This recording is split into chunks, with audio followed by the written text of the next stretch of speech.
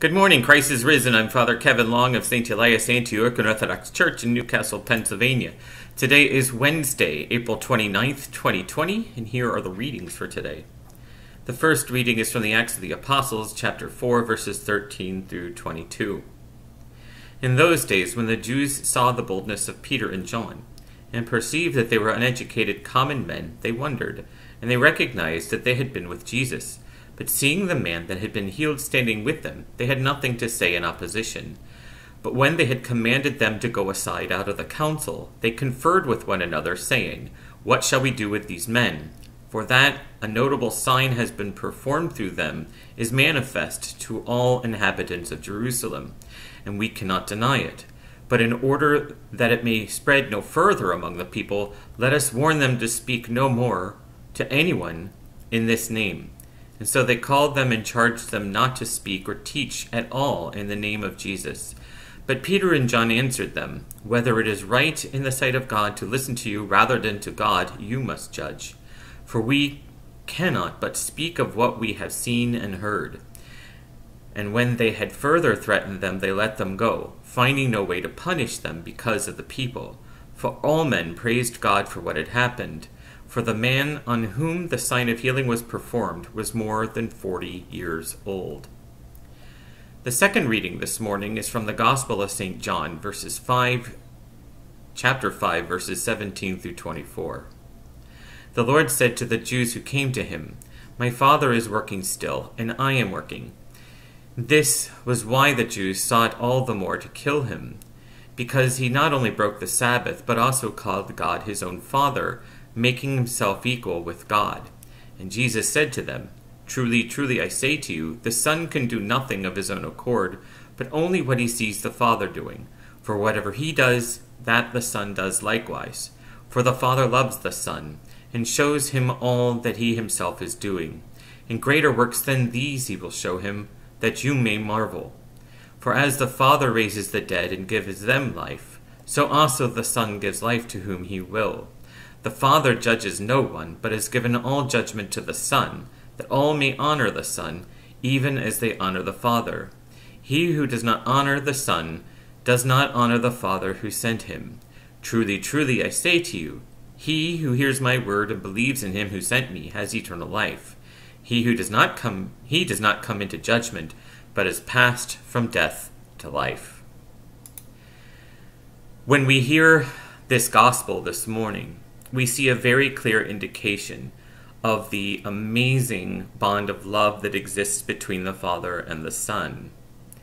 This is what makes our church so strongly Trinitarian, because you cannot think of the Father without thinking of the Son.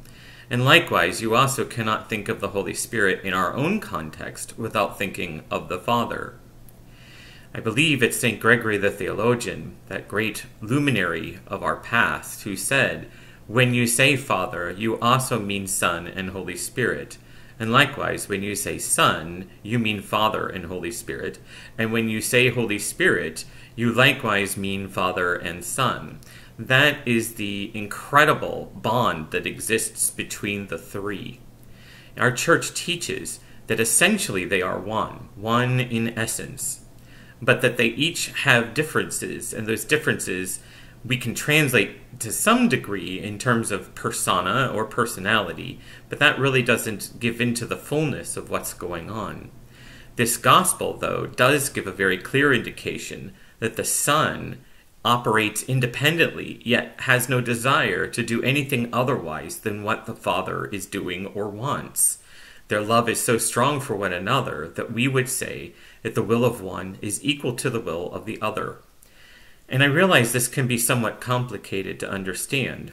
The doctrine of the Trinity is not easy, and there have been people who have been trying to interpret it for centuries. And usually, when they get close to thinking that they understand it, they jump right into a heresy. They make too much of the individuality of each, or they make too much of the oneness of all, and it ends up in a great mess. I think it's better just to stick with what we have in the gospel this morning and what we see elsewhere in the gospel of St. John, where Christ speaks of the Holy Spirit being sent on behalf of him through the Father and so forth. And so when we understand that, then we can understand our own practicalities and the things that we can do. Think of it this way when the Father loves the Son, and the Son loves the Father so much that the Son just seeks to do the will of the Father, that is a prototype for what we are supposed to do. We are supposed to love Christ. We are supposed to love God with our heart, our mind, our soul, and our strength.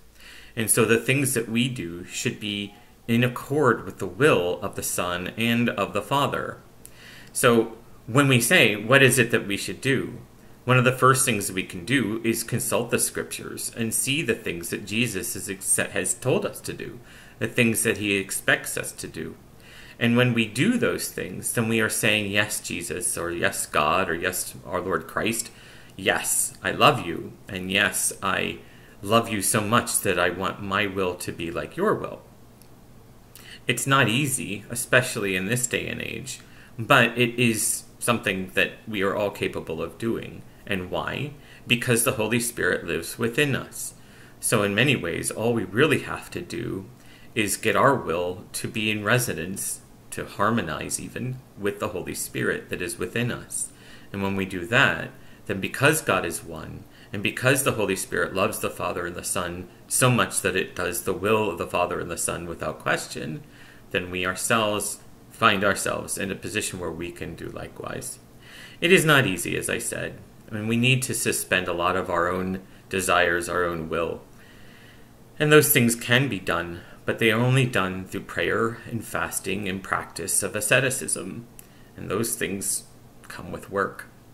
And we are in a time right now when that work can be done. And so, try it. For a day, just do what it says in the scriptures. You know, love your neighbor as yourself. You know, give a coat if they ask for your, you know, if they ask for your coat, give them your shirt as well. Lend without interest. Those kinds of things. They're all through the scriptures. If you want, you can look at Matthew 5 through 7 for the Sermon on the Mount, or you can look at the Gospel of St. Luke in chapter 6 and you'll see the equivalent of the Sermon on the Mount.